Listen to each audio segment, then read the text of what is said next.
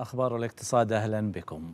وقع شركة أرامكو اليوم مذكرتي تفاهم مع شركة بترول أبو ظبي الوطنية أدنوك وشركة أبو ظبي لطاقة المستقبل مصدر.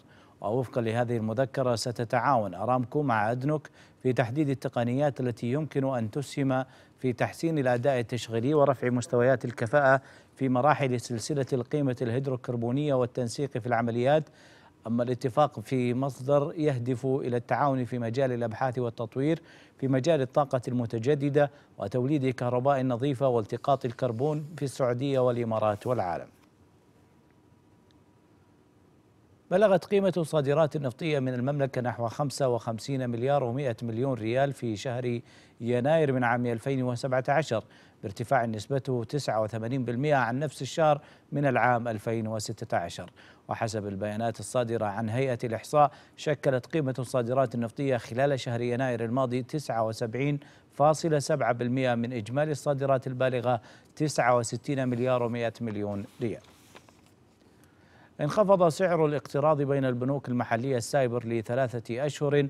تراجع إلى إلى أدنى مستوى له في آخر 12 شهرا حيث بلغ 1.73% بنهاية الأسبوع الماضي منخفضا بنحو 65 نقطة أساس مقارنة بأعلى مستوى له في شهر أكتوبر الماضي البالغ 2.39% وكان سعر السايبر سجل ارتفاعات متواصلة من مستوى فاصلة 77% في أغسطس 2015 حتى 2.39% في أكتوبر 2016 قبل أن يتراجع منذ ذلك الوقت بالرغم من رفع سعر فائدة الإيداع لدى مؤسسة النقد الريبو العكسي الشهر الماضي.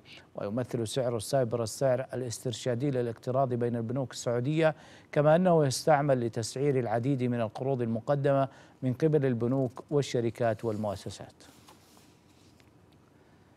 تبدأ اليوم فترة إعلانات النتائج للربع الأول من عام 2017 حيث ستعلن أغلبية الشركات في سوق الأسهم لأول مرة عن نتائجها المالية للربع الأول وفقا لمعايير المحاسبة الدولية.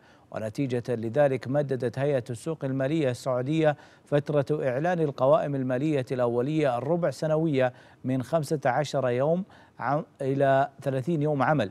كما قامت الهيئة بتعديل فترة إعلان القوائم المالية السنوية من 40 يوم عمل من نهاية الفترة المالية التي تشملها تلك القوائم إلى ثلاثة أشهر.